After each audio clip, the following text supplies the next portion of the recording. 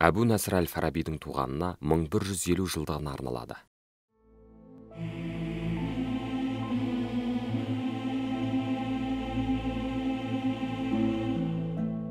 Үмметтер бір бірінен ерекшеленеді. Оның себебі өздері өмір сүретін орта мен ауаның әсері болатыны сияқты ішетін тамағы мен ол тамақтың пайда болуына негіз болатын ауыл шаруашылық әдістерінің де әсері болуы мүмкін. Себебі олар мінез бен адами қасиеттерді қалыптастырады.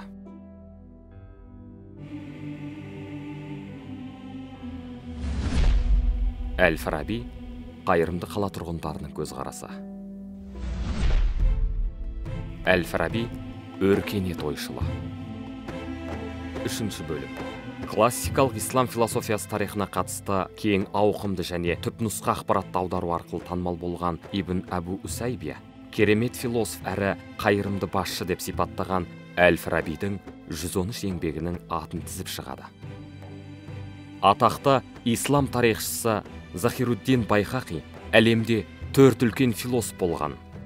Олардың екеуінің ислам діні келгенге дейін екеуінің ислам дінінен кейін келгенін айта келе платон аристотель әл фараби мен ибн синаны келтіреді. Әл фарабидің ең көп мән берген нәрселері мемлекет пен өркениетке қатысты ойлары. Осы жерде өте маңызды бір ұғым ретінде ізгілік ұғымына көп мән береді. Ізгілікті адамның қалай өсіп өнетіндігі әлемді ізгілікті қоғам жүйесінің қалай құрылатындығы жөнінде ой тарқатады. Tartışır.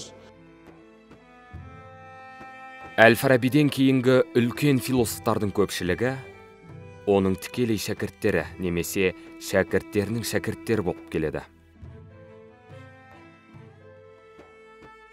Еш шүбәсіз әл фарабидің ең үздік шәкірті мен ең үлкен ізбасары ол бастап берген мешай философиясы дәстүрін жалғастырған ұлы дәрігер әрі данышпан ибн сина. Тіпті ибн сина биографиясын бізге жеткізген оның шәкірті әбу убейд әл джужани осы мәселеге қатысты бір қызық дерек келтіреді. Ибн сина аристотельдің логика және жаратылыстану ғылымдарына қатысты туындыларын оқи отырып философияға қатысты білімін кеңейтуге тырысады. Осы мәселеде негізгі дереккөз кітап ретіндегі аристотельдің метафизика кітабын оқып ештеңе түсінбейді. Қырық рет оқып жаттап алуға жақындаса да ештеңе түсінбей кітаптан үмітін үзеді.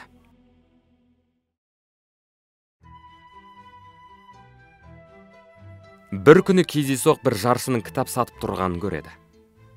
Ибн сина кітапқа қызығушылық танытпайды. Сатушы оған жақындап мына кітапты ал саған пайдасы өте көп болады деп оны көндіруге тырысады. Соңында кітап иесі қиын жағдайда болғандықтан өте арзан баға үш дирхамға беретінін айтады. Осылайша ибн сина кітапты сатып алады. Бұл кітап әл фарабидің аристотель метафизикасын түсіндіріп жазған кітап еді. Ол тез арада үйге барып кітапты оқи бастайды. Әл фараби берген түсініктемелер арқасында ибн сина жаттап алуға аз қалған аристотельдің метафизика кітабын түсінеді. Философияға аса үлкен қызығушылық танытқан ибн сина қатты қуанып аллаға шүкір айтып кедейлерге садақа береді.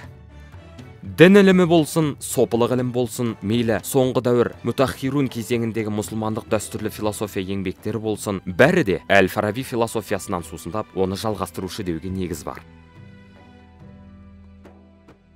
Османлы кезеңінің маңызды ойшылдарының бірі қыналызаде әли әпенде де ахлах и алай атты туындысында үлкен бір бөлімді әл фарабидің ахлах философиясы мен мәдениет жөніндегі ойларына негіздеп жазады. Осыған байланысты османлы мемлекетінің философиясы мен дүниеге қатысты ұстанымы кең ауқымды әл фараби философиясынан әсерленеді. Қыналы зәде әл фарабидің идеал мемлекетін. Ол утопиялық мемлекетті османлы мемлекетіне бейімдейді. Ол мемлекет осман императорлығында утопия күйінен өтіп іс жүзінде өмір сүре бастайды қыналы зәде мемлекетке қатысты бір жүйе ұсынып енді мәдинат үл фазила қайырымды қала жер бетінде османлы мемлекетінде іске асады bulmuş. Yani gerçekleşmiş şekilde anlatıyor. андалусия ислам философиясының ұлы өкілдері ибн туфейл ибн бадж бен ибн рушд оның ойларын мұсылмандық испанияға жаюмен шектелмей пиреней тауларынан асырып еуропа құрлығының ішіне бойлай енуіне түрткі болады. Кордовада мұсылмандық мәдени ортада өсіп жетілген шығармаларын арабша жазған және яхудилік ілімінің негізін қалаған екінші адам ретінде танымал мұса ибн маймун яғни маймонидес рамбам мен равин мұса әл фараби пікірлеріне үлкен мағына береді. Андалусиядан феске ол жақтан каирге көшкен және каирде бас раввин болған ибн маймун раввиндікпен қатар крес жорықтарының қаһарманы салахаддин аюбидің дәрігері ретінде қызмет атқарады. Сол кезеңде үстемдік құрып тұрған ислам философиясына қатысты шығармаларды оқи отырып үлкен әсер алған жас яхудилерге жол нұсқаушы ретінде дін ілімі философия мен яхуди сенімі шығармалары тақырыбында өз жолын таба алмай жүргендерге арналған жол нұсқаушы атты арабша шығарма жазуға кіріседі. Жақсылық нұсқаушысы өз жолын таба алмай жүргендерге арналған жол нұсқаушы дәләләтул хайрин шығармасы яхудилер үшін негізгі дереккөз болып табылатындығындай осы күнде де жиі сілтеме жасалып отырған кітап болып табылады. Хакан башы ибн маймунның атақты шығармасының өзінің тірі кезінде латыншаға аударған жас шәкірті мойс ибн тиббонға жазған хатында логика жайында шығармалардың ішінде тек қана әбу наср әл фараби шығармаларын оқыған жеткілікті. Және оның барлық шығармалары мінсіз әрі керемет. Оның шығармалары талдауға зерттеуге лайық. Өйткені ол ұлы тұлға деген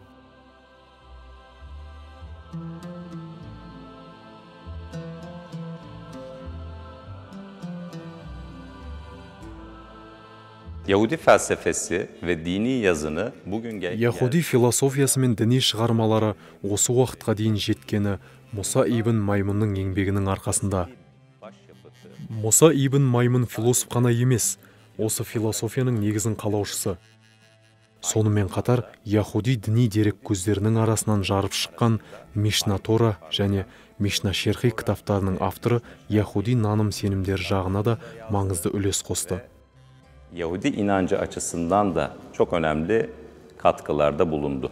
Kendi öğrencisi өз шәкірті самуэль ибн тибонға жазған хатындағы көзқарастары спинозадан бастап лео страусқа дейін яғни орта ғасыр мен қазіргі күнге дейін барлық яхуди ойшылдар тарапынан дереккөз ретінде қолданылған kaynak olarak alınıp kullanılmıştır. Осы себептерге байланысты орта ғасырда да тіпті қазіргі күнімізде көптеген яхуди ғалымдар мен философтары әл фарабидің еңбектерін бағалауда.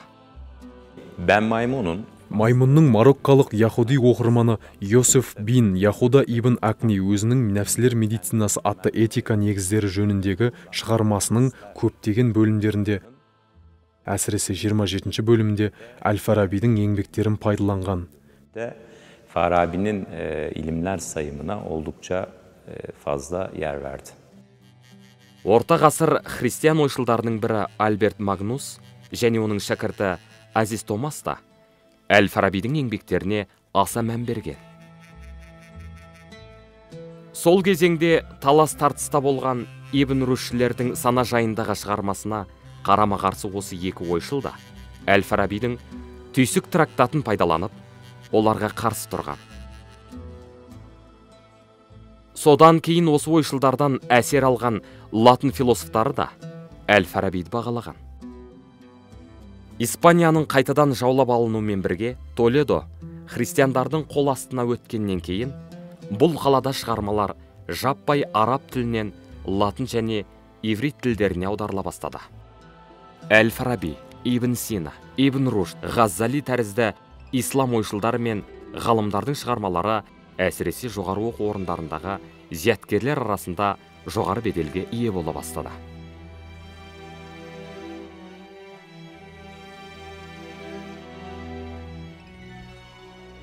Біздің білуімізше әл фараби шығармаларының тоғызы латын тіліне 27-сі иврит тіліне аударылған. Қазіргі таңда түп нұсқасы араб тілі болған кейбір шығармалар жоғалғаннан кейін тек латын және еврей тілдеріне аударылғанын немесе еврей әріптерімен жазылған арабша мәтіндерді ғана таба аламыз.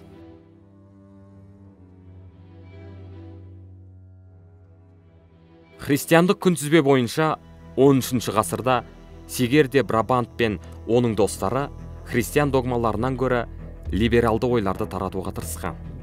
Аверойстер атап айтқанда ибн рушшілер және авицинистер яғни ибн синашылар сияқты танымал зиялыларға қауіп қатер төніп жиі қуғынға ұшырап отырды. Бұндай мақсатпен өте көп тыйым мен шешім шығарылды бірақ нәтижелі болмады. Соңында әртүрлі діни және философиялық ағымдарға қарсы өте қиын және ауыр шаралар пайдалану мақсатында көптеген жылдар бойы инквизиция сот құрылды. Жаңадан қалыптасып жатқан доминикан және франциск ағымдарының мүшелері инквизиция жендеттері ретінде тағайындалды. Инквизиторлар шіркеу тарапынан берілген догмаларға қарсы шыққан кітаптарды анықтап оларды жинатып үлкен қалалардағы алаңдарда халықтың көз алдында өртеді.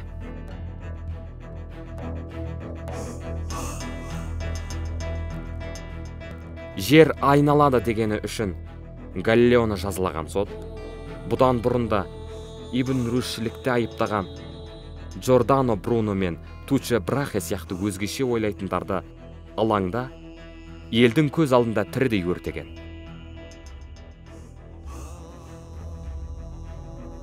Батыста танымал болған білім мен дін арасындағы қақтығыстарда мұндай соттардың әсері өте жоғары болды. Әл фараби сөздің тура мағынасындағы өркениет философы. Туындыларының көп бөлімінде өзгеше бағыттағы өркениет тақырыбын қозғағаны байқалады.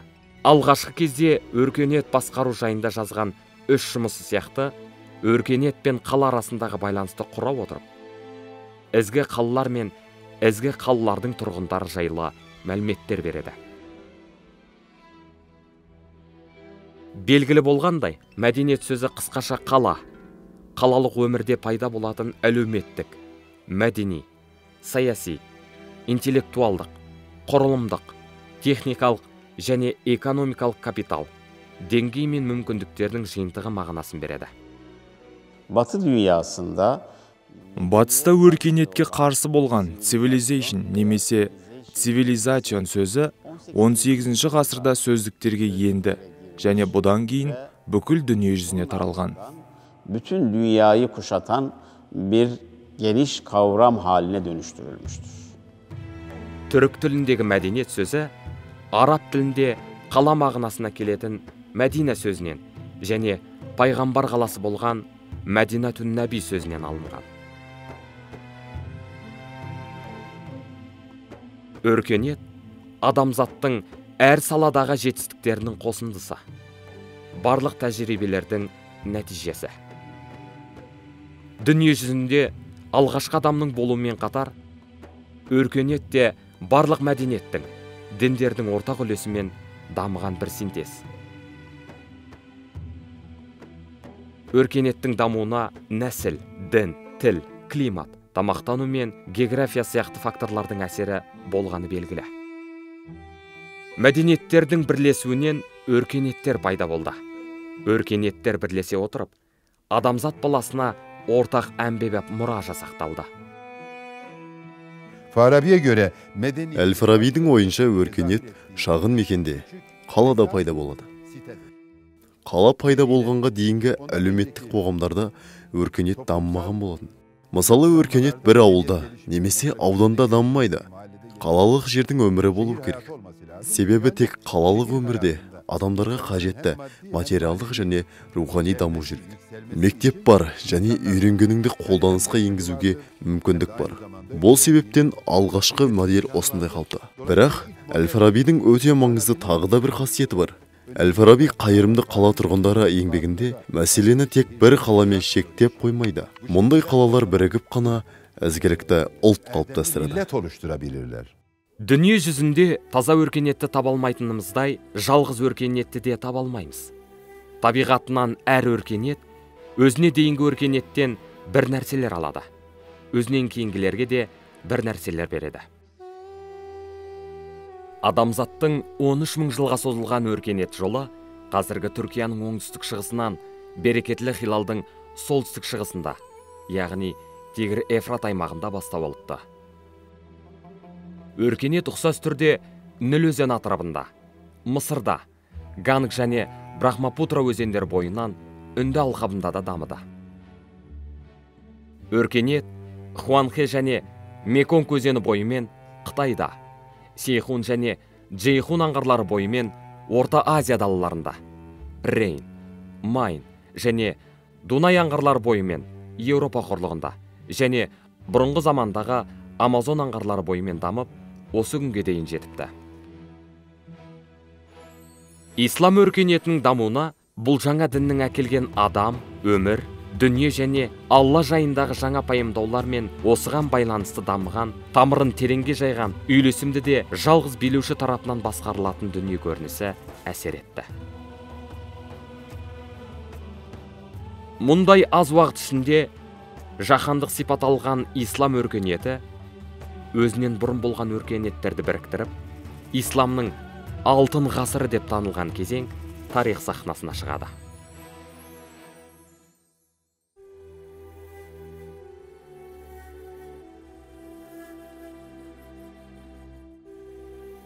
Бірақ 13 ғасырда ортаға шыққан үш қауіпті фактор алдымен бұл өркениеттің өрлеуін күйретті. Содан кейін бір орында тұрып қалуына себеп болды. Бұлардың бірі моңғол шапқыншылығы одан кейін крес жорықтары ал үшіншісі эзотерикалық батиниттер ағымы. Harizm Şahlar Devleti'nin хорезмшақ мемлекетінің отырарлық билеушісі болған қайыр хан шыңғыс хан тарапынан жіберілген 500-ге жуық саудамен айналысатын адамды болмашы сылтауларды алға тартып өлтіреді. Sudan bahanelerle öldürtmüştür. қытай жорығына дайындалып жатқан шыңғыс бұл шешімінен бас тартып 1220 жылы отырарды жаулап алып халқын қырып жойды. Қайырханның көздері мен құлақтарына балқытылған күміс құйылып өлтірілді. Біраз уақыттан кейін моңғол әскерлері бұқараны жаулап алып қаланың тас талқанын шығарып тұрғындарды қырғынға ұшыратты.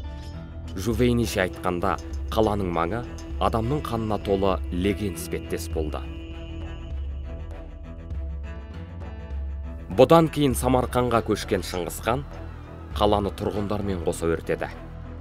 Одан кейін батысқа бағытталған қолбасшы алдынан шыққан барлық ауыл аймақты шабуылдап өртеді. Бірақ моңғол шапқыншылықтарынан ең ауыр зардап шеккен ислам өркениетінің алтын ғасырының орталығы бағдат қаласы болды. Хижра жыл санауы бойынша 656 жылы мухаррам григориандық жыл санауы бойынша 1258 жылы қаңтар айында моңғол шапқыншылары бағдатты шығыс пен батыстан қоршады. Катапульталарды құрып қабырғаларды қирата бастады. Моңғол шапқыншылары бір жағынан оқ жаудыртты екінші жағынан қаланы өртей бастады.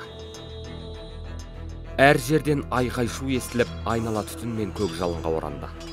Соңында 1258 жылы 10 ақпанында моңғолдар қала ішіне кірді. Кәрі жас еркек әйел бала шаға демей бәрін қырып салды.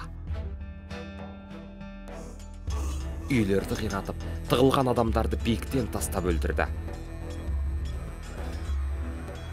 Адамдар қорқыныштан құдықтарға қораларға тіпті кәріздерге тығылып бірнеше күн бойы ол жерден шыға алмай отырды. Атақты тарихшы ибн әсирдің сөзімен айтқанда моңғолдар қалада 40 күн қалып қой сойғандай адамдарды бауыздапты бағдаттың ауасы өзгеріп оба ауруы тарай бастады.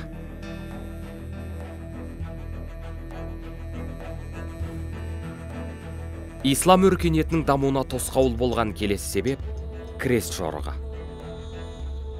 Андалусия ислам мемлекетінің астанасы кордовада. Хазіреті пайғамбарымызды саллаллаху алейхи уассалам балағаттаған бір христиан діни қызметкері өлім жазасына кесіледі. Бұған қарсы шыққан кордовалық христиандар бүлік шығарады. Осылайша бүлікшілердің бір бөлігі өлтіріледі. Христиан діни қызметкерлері бұл адамдардың қанға боялған көйлектерін бүкіл еуропаға жайып салып батысты мұсылмандарға қарсы көтерілуге үгіттейді. Осылайша андалусияны басып алуды мақсат еткен реконкиста қозғалысы басталады. Алдымен сицилия одан кейін испанияның бұрынғы астанасы толедо қаласы жаулап алынады. Папа екінші урбайның шақыруымен 1096 жылы еуропаның әртүрлі жерлерінен келген католиктер францияның клармон қаласында жиналып мұсылмандарды еуропадан толығымен қуу және мұсылмандардың қолында болған қасиетті топырақтарын кері қайтарып алу мақсатында крест жорықтарын бастауды ұйғарады. Перл хермит қолбасшылығы астында орын алған алғашқы крест жорығынан кейін шамамен 200 жыл бойы 13 жорық жоспарланады. Адам саны 100 мыңға дейін жеткен бұл крестшілер қолы шайқастарда ислам әлеміне жорық жасап тіпті моңғолдар сияқты өздеріне қарсы келген кез келгенін жермен жексен етіп қырып жояды. Ислам өркениетінің дамымай бір орында тұрып қалуының тағы бір себебі ислам географиясының берекесін қашырған батини террорлық ағымы болды. Діни мәтіндерді айқын және жасырын мағынаға ие деген ойда болған батини ағымының өкілдері бұқара халықтың түсінігіндегі ислам дінін басқа бағытқа бұрып діннің негізгі қағидаларын жоққа шығарып оларды алып тастауға дейін барған шектен шыққан топ ретінде белгілі. Әсіресе мемлекет беделі түскен кезде мұндай заңсыз ағымдар мешіттерді қиратып діни қызметкерлерді өлтіреді. Шамамен 200 жыл бойы шығыс ислам әлемінде қорқыныш пен үрей туғызған бұл ұйым ислам өркениетінің дамуына тосқауыл болып оны іштен әлсіреткен факторлардың бірі болды. Орта ғасырдағы батыста ұзақ уақыт бойы қызығушылық туғызған әл фараби орта ғасыр философтары сияқты ақырындап ұмытыла бастады. Бірақ 20 ғасырда әсіресе бірінші дүниежүзілік соғыстан кейін әл фараби зерттеулері жандана бастады. Әл фарабидің ақыл теориясын 1940 жылы жаңадан қолға алған әйгілі француз ғалымы этенне гилсон оның ой тарихына келген екі маңызды жаңалығына мән береді. 20 ғасырдың басында гитлер фашизмінен қашып ақшты баспаналаған заманауи саяси философиясының негізін қалаған яхудилік ойшыл лео страус әл фараби ойларын қайтадан тәпсірлеп осы күнімізге дейін жеткізді. Орта ғасырлық ойлардан әсіресе әл фараби мен маймонидестен шабыттанған жаңа бір саяси философияны дамытуға тырысқан лео страус соңғы жылдары америкада болған саяси қозғалыстардың бірі болған жаңа консерватизм ағымының рухани көшбасшысы болып есептеледі.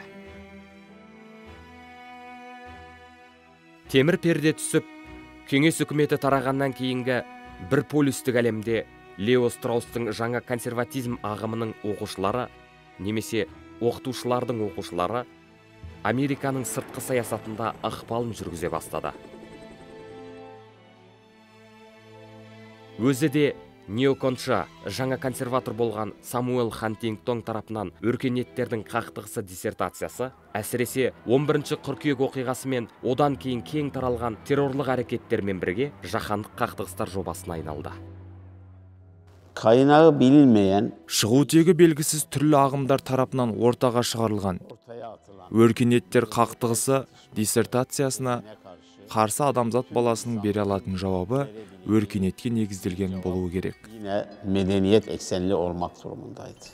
әлемді қанды көлге айналдырған бұл қақтығыстарға қарсы 2005 жылы сол кездегі түркия республикасының президенті құрметті реджеп тайып ердоған мен испания корольдігінің президенті құрметті запатероның басшылығымен біріккен ұлттар ұйымы шеңберінде өркениеттер альянсы бастамасы қолға алынды қысқа уақытта ұйымдастырылған бұл бастамаға қазірге дейін 128 мемлекет және 28 халықаралық ұйым қосылды.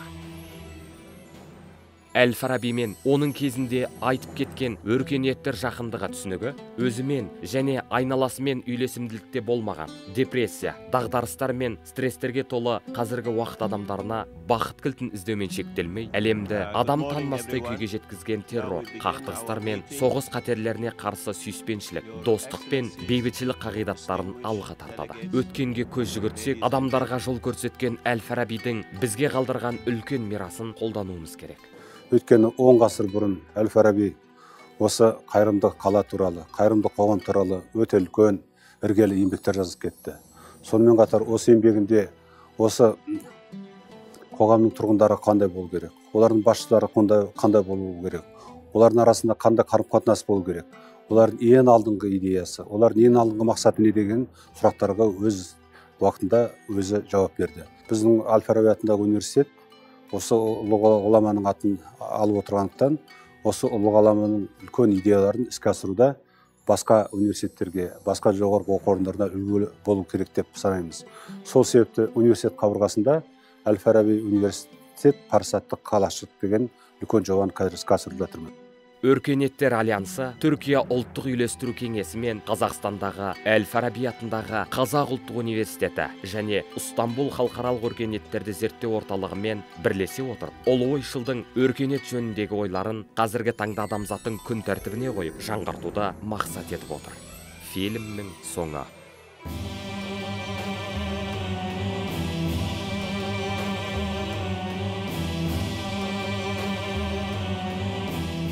Фильмді қазақ тіліне дубляждағандар. Жоба жетекшісі ғалым қайырмұтанов дубляждың режиссері әрі монтажын жасаған дәурен мұхамеджанов. Редакторлары төрәлі қыдыр жақыпбек алтаев әйгерім әлімжанова. Субтитрдің редакторы гүлнар мұханова. Дыбыс режиссері әрі әуенін өңдеген бақыт құрманбеков. Сценарийді қазақ тіліне аударғандар жазира көкеева меруерт оразбаева хамидулла тәжиев. Қазақ тілінен орыс тіліне тәржімалаған дана сейдраманова мәтінді дыбыстаған абзал жаңабаев кеңесбай нұржан шыңғыс нұрбай самал сүгірәлиева рахат жарақашев. Фильм рухани жаңғыру мемлекеттік бағдарламасы аясында әл фараби атындағы қазақ ұлттық университетінің телерадио кешенінде дубляждалды. Алматы 2019 жыл.